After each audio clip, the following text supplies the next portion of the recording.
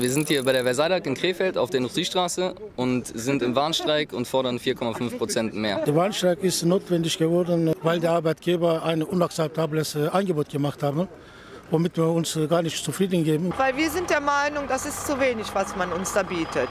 Wir möchten mehr.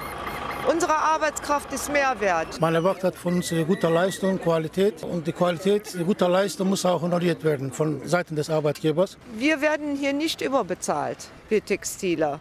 Mit Sicherheit nicht. Für die harte Arbeit, gerade in den Produktionen, die die Leute verrichten, finde ich, müsste da schon ein bisschen mehr kommen. Ich meine, dass wir auch mal ein bisschen mehr verdient haben als sonst, weil äh, wir auch äh, dementsprechend gute Arbeit leisten. Auch viele ältere Kollegen, die haben das auch verdient, ein bisschen mehr Unterstützung zu bekommen vom Arbeitgeber, da es der Wirtschaft auch dementsprechend gut geht. Wir erwarten von dem Arbeitgeberverband, äh, dass sie uns für uns einen vernünftigen, akzeptablen Angebot machen, damit wir auch das ganze Tarifverhandlungen hinter uns haben. Ich würde sagen, dass das auch junge Leute in die Betriebe bringt.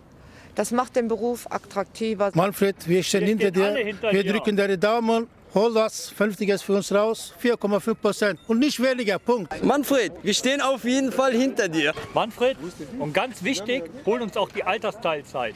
Weil immer mehr Arbeitnehmer es nicht mehr schaffen, in den Betrieben bis zum Rentenalter durchzuhalten. Altersteilzeit ist nicht nur für uns Arbeitnehmer ein interessantes Thema, sondern auch für den Arbeitgeber, da er damit sich selber absichern kann, dass Nachwuchs im Unternehmen ist und somit auch seine eigene Zukunft sichert. Wenn ein Mensch 35, äh, 40 Jahre gearbeitet hat, seine Leistung gegeben hat, das muss auch irgendwie besser geregelt und honoriert werden. Jeder, der 40 Jahre gearbeitet hat, hat auch einen Anspruch, mal anständig mal in Rente gehen zu dürfen und äh, mit einem Blumenstrauß verabschieden und nicht mit einem krankheitsbedingte Kündigung. Ich bin der Meinung, die Leute sollten aus Überzeugung, sollten die der Gewerkschaft beitreten.